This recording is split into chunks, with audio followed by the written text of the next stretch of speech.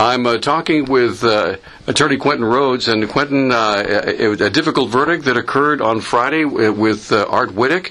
Can you tell me uh, what uh, what was the reaction of you and your client when you heard that the jury came in ten to two um, for a conviction of the charges that were brought by Jonathan Motl?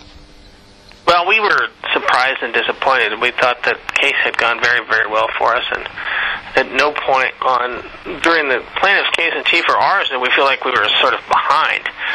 And um, you know, the witnesses kind of testified to what we expected them to, and when we were able to, like I say, put on the case that we wanted to put on, and it seemed to go very well. I know that um, there was more, there were more folks than us who were surprised by that outcome. And of course, we we were disappointed with it, obviously. What happens with Mr. Wittich now? I, I know that the judge has several decisions to make as to how he's going to act.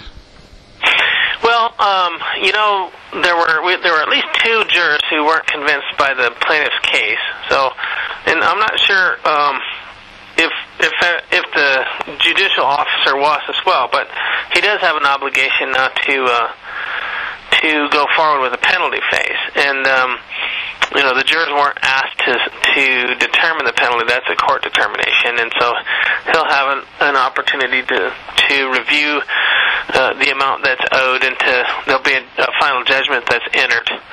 And then there are some appellate questions that may need to be answered. There's not been a decision on whether to appeal or not, uh, but there are quite a few procedural hurdles that have to be crossed before the final outcome is determined.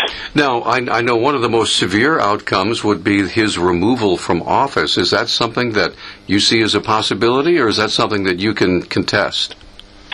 Well, it's sort of hypothetical right now because he's not he doesn't occupy an office. Uh, his term as a senator has expired. He's running for re-election, so if he's re-elected, then that's probably less hypothetical.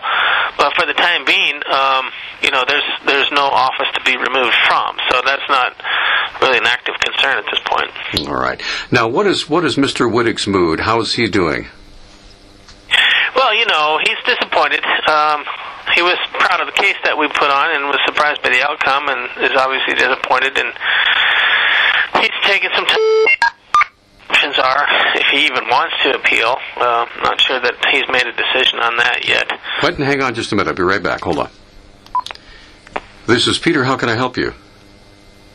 Hi, good morning. Jason Baker calling from Keller Williams Real Estate. Pardon the intrusion. Hey, listen, I, I can't talk to you right now. Thanks for calling. Oh, not a Okay, Quentin. Now, the, the, the other question I had for you was um, will this decision embolden Mr. Motl to go after other conservatives and uh, uh, basically will it cast a chilling effect on other candidates who may want to you know run for office in Montana? Well, I think that's pretty clear that it will do that, and it has done. For example, um, there are conservative groups that can't get candidates to answer their surveys to see where they stand on the positions because the candidates say, "Look, we're not going to get involved with answering surveys anymore because of this experience that's uh, recently be had with been had with Mr. Wittich and those other groups that were or those other individuals who've been called into question because they've answered surveys from Western Tradition Partnership." So, know, it's a it's a blow to that kind of um, exchange between constituents and people running for office. It's harder now to learn what their positions are. It's harder to get them to run because obviously, if Mr. Wittich had realized in 2010, you know, the financial and other uh, consequences of running for office, he would never have run, and obviously, who can blame him? Know, I guess there's there's good and bad with everything, but I can certainly say that there are people who I have otherwise considered to run for office as citizen legislators who now look at this and say, you know, why would I buy myself? Why, why would I borrow this kind of trouble?